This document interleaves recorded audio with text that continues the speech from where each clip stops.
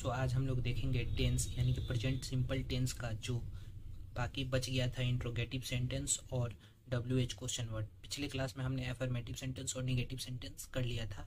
इसमें हम लोग देखेंगे इंट्रोगेटिव सेंटेंस तो जैसे कि इंट्रोगेटिव सेंटेंस क्या से शुरू होता है, जैसे क्या मैं आपके ऊपर शक करता हूँ तो उसका स्ट्रक्चर हो जाएगा do oblique does subject plus verb one plus object और क्वेश्चन वर्ड तो अगर अब हम लोग देखते हैं कि कौन से सब्जेक्ट के साथ डू लगाएँगे और कौन से सब्जेक्ट के साथ डज लगाएँगे तो आई वी यू दे और नाउन पुलरल के साथ हम लोग डू का प्रयोग करेंगे। He she it noun singular के साथ हम लोग डज का प्रयोग करेंगे। जैसे does plus subject plus verb one plus object का प्रयोग होगा।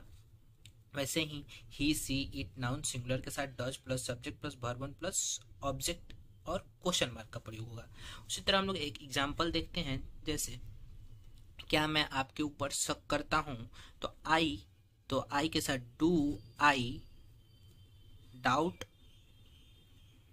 you do I doubt you उसको हम लोग ऐसे भी लिख सकते हैं do I cast doubt on you question mark यहाँ भी रहेगा क्वेश्चन मार्क यहाँ भी रहेगा। अब यहाँ पे हम लोग डाउट के बाद ऑन नहीं लगाए। यदि हमें ऑन लगाना है डाउट के बाद प्रीपोजिशन लगाना है तो इसको हम लोग नाउन के रूप में प्रयोग करेंगे और लिखेंगे cast a doubt on you उसी तरह दूसरा एग्ज़ाम्पल देखते हैं, क्या वह परीक्षा देता है? तो वह के, यानी ही इसके साथ लगेगा does he take the exam क्या वह परीक्षा देता है? फिर हम लोग देखते हैं, क्या वह स्कूल जाती है? तो यहाँ पे वह यानी कि सी वह जाती है तो उसके जगह पे हो जाएगा does she go to school interrogative sentence करने के बाद हम लोग देखेंगे अब क्वेश्चन वर्ड क्वेश्चन वर्ड का क्वेश्चन वर्ड जैसे कि how what why where when ये सब हो गया क्वेश्चन वर्ड उसका स्ट्रक्चर होता है question word plus do oblique does plus subject plus verb one plus object और क्वेश्चन मार्क यानी कि एग्ज़ाम्पल देखते हैं हम लोग. आप लोग कहाँ रहते हैं? आप लोग कहाँ रहते हैं? कहाँ यानी कि वेयर और जो उसके साथ वर्ब यूज़ होगा सब्जेक्ट के अनुसार होगा. यानी कि आप आप इट इज़ अ सब्जेक्ट तो आप कहाँ रहते हैं? तो वेयर डू यू लिव और क्वेश्चन मार्क। उसी तरह यह गाड़ी कहाँ जाती, यानी यह गाड़ी कहाँ जाती है? Where does this train go. उसी तरह एग्ज़ाम्पल आगे देखते हैं, वह कैसे इस नदी को पार करता है? वह कैसे इस नदी को पार करता है? कैसे? How does he over swim, this river. तो हम लोग प्रेजेंट टेंस को खत्म कर दिए। प्रेजेंट, सिंपल टेंस को खत्म कर दिए। इसके बाद हम लोग देखेंगे present continuous tense.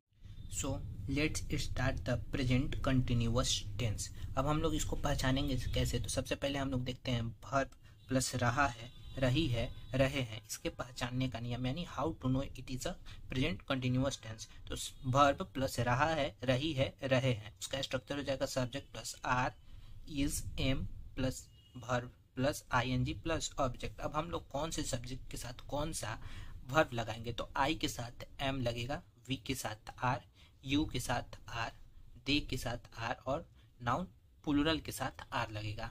ही के साथ इज़ सी के साथ इज़ इट के साथ इज़ और नाउन सिंगुलर के साथ इज़ लगेगा। उसके बाद हम लोग देखते हैं एग्ज़ाम्पल मैं आपको खोज रहा हूँ। आई के साथ एम लगता है I am looking I am looking for you उसके बाद हम लोग दूसरा एग्ज़ाम्पल देखते हैं। वह यहाँ से जा रहा है। He is going from here वह यहाँ से जा रहा है। मैं पढ़ रहा हूँ। आई के साथ एम लगता है। I am reading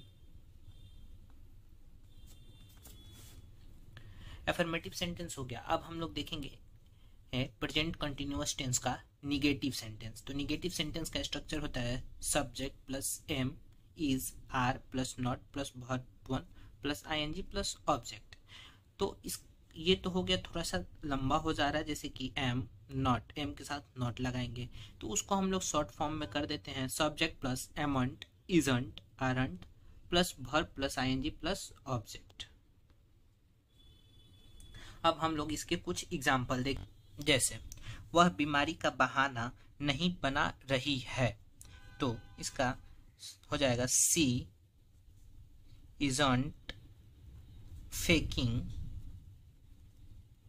illness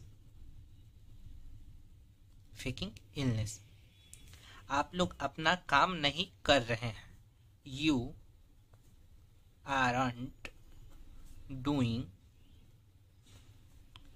your work doing your work negative sentence के बाद हम लोग देखेंगे। इंट्रोगेटिव सेंटेंस और यस नो क्वेश्चन यानी कि क्या से शुरू होता है, क्या मैं आपकी प्रति, क्या मैं आपकी मदद कर रहा हूँ। तो इसका स्ट्रक्चर हो जाएगा are is am plus subject plus verb plus I N G plus object और क्वेश्चन मार्क तो यहाँ पे हम लोग एग्ज़ाम्पल को सॉल्व करेंगे। क्या मैं आपकी मदद कर रहा हूँ?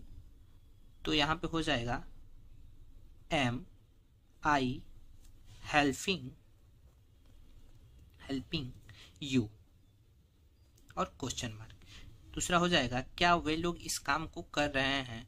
तो वे के साथ, वे का होता है दे तो क्या? यानी कि क्या वे लोग इस काम को कर रहे हैं? तो are, they doing this work और क्वेश्चन मार्क अब यहाँ पे एक रूल है, जैसे कि निगेटिव इंट्रोगेटिव में आई के साथ अमाउंट का प्रयोग नहीं करते हैं। अमाउंट के साथ मतलब आई के साथ एमंट का प्रयोग नहीं करते हैं। तो एमंट की जगह पे हम लोग प्रयोग करते हैं आरंट का। जैसे एग्जांपल में देखते हैं। मैं आपको सच, मैं, क्या मैं सच नहीं बोल रहा हूँ? तो ये हो जाएगा M मंट I amn't I speaking the truth truth तो अगर हम लोग ऐसे बनाते हैं तो ये आई के साथ एमंट ये बिल्कुल गलत है। इसको ऐसे नहीं बनाना है। अगर निगेटिव इंट्रोगेटिव में ऐसा रहता है तो हम लोग एमंट की जगह पर एमंट की जगह पर आरंट का प्रयोग करेंगे। जैसे aren't I speaking